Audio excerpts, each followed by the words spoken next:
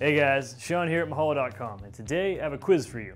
If you're working on your project in Windows Live Movie Maker in one location and you'd like to continue working on it in another location, what's the best way to get your footage from point A to point B?